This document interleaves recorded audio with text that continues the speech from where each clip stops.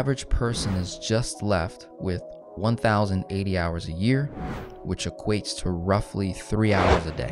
Now, in my mind, three hours is a lot of time as an entrepreneur, as a business owner, but that may not seem like a lot of time for the average American, the average mom three, four kids. You know, those three hours get eaten up very quickly. The simple idea of this strategy that I laid out for myself is to determine how much time will it take me to build a viable business that can produce at least 10 times what I am making today, right?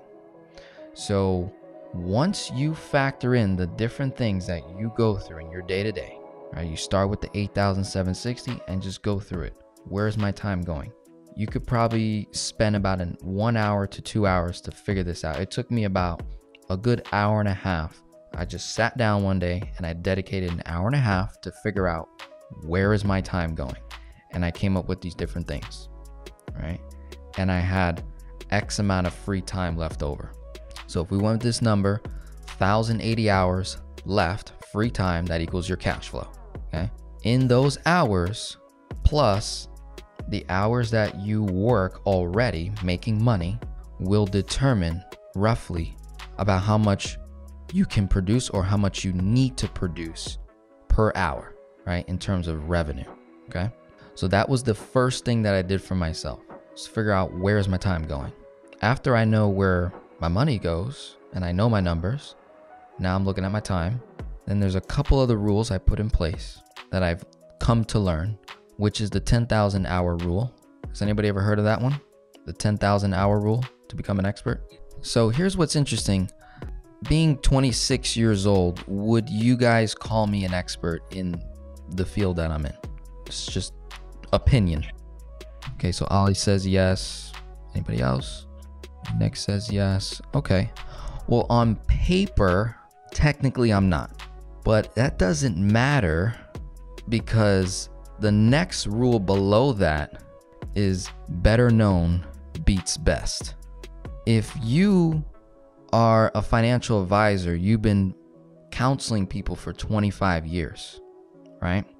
And then I come on the scene, but I engage people through social media and I go viral. I now have over 3 million views, over 41,000 subscribers, and technically more people know me than you that have 25 years of experience and 10,000 hours in the game. It almost doesn't matter to the vast majority. Okay. But I still use the rule because I think it is a standard of measurement to determine how good you really are. So I have about, at this point, a little over 6,000 hours dedicated to mastering my finances, right? So I consider myself a strategist, a specialist. I've never called myself an expert just yet, but I've been called an expert by many uh, thousands of people at this point, which overrules based off of a few rules, which is better known beats best and then the next thing being being authority right if you come into the room with authority with confidence people believe that are motivated by that are inspired by that and they move forward sometimes they will believe the person with less experience than the person with years and years of experience but no no drive in them no passion no no inspiration no motivation so they don't make the move, right? But coming back to my my rules here to help develop my management, which leads to cash flow, right? Because that's mostly every people. That's a lot of people's problems, even in this room, right? If if cash flow wasn't an issue, AP1 would be fully funded at this point with the 30 plus people in this room. I've done the math, right? So cash flow is an issue in this room and out of this room. That's okay. I'm here to provide a solution to that. Now it's just a matter for, you know, you to apply it. If it works for you, if it doesn't, let me know. Maybe I can uh, refine it, right? And I'll and I'll learn. But so far, and this is just me being very transparent, this has worked very well for me. Okay. So 10,000 hours to become an expert. Why do we need to know that measurement? So that you can get paid at an exponential rate. You, you, you can justify that. And people see it before you become it. So therefore they pay it. It's a pretty real neat experience. And by being better known beats best, meaning you come into the marketplace via social media, speaking engagements, putting yourself out there, letting people know who you are and what you bring to the table will convince, persuade, and convert people to your environment, to your economy. And they will want to feed that. They'll want to plant their seed in that because they see what you're producing, right? So, with that being said, I take the current income of the individual that I'm working with. Let's say I'm working with all you guys here, and let's just say that you made 332,000 last year. Okay, this was being fully transparent. This is my revenue last year, 2021. This is what I closed the year out with. So I take whatever I made last year and I multiply that by 10 to set the goal of, of where I want to head. A lot of people mess up when they set a goal of, oh, I just want to make an extra 500 bucks uh, a month, an extra thousand bucks a month, and that'll that'll help me, you know, pay off this debt and do this and do that and the other thing. What you don't realize is if you set such a small goal and you got all this free time, oftentimes we will waste that and then we don't hit such a small goal. We get depressed, anxiety kicks in, stress kicks in, day to day life kicks in, and you don't hit the goal and it was so small. Versus what if you made such a big, audacious goal, right? Huge goal that even if you failed miserably, you have success, right? So breaking that paradigm shift right there.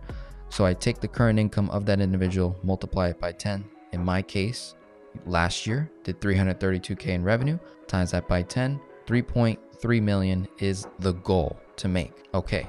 I look at the free time that I have. Let's just say these are my these are my hours. I actually work over 50 hours a week. So my, my number, my time available to produce the cash flow is actually in my favor. But just going off the 2,080 hours and the 1,080 hours of free time, just that alone, add the two, get 3,160 hours a year dedicated to producing 3.3 million in revenue. Divide that 3.3 million, divide that by 3,160, I need to make $1,054 an hour, right? Now, if I want to lower that, if that seems scary, again, even if I fail miserably, and in my business, I charge 247 an hour for a consultation fee, who's upset? I'm not upset. It's about running the numbers according to the time you have available to achieve the goal that we're trying to hit. So my current hourly rate is 247 an hour, right? And this is non-expert level.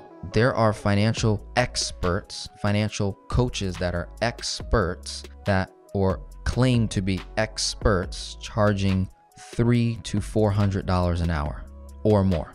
So when I reach expert status according to the rule, then I can increase my rates. But that's just a personal preference. I could jump that now if I wanted to, and people would pay it, right?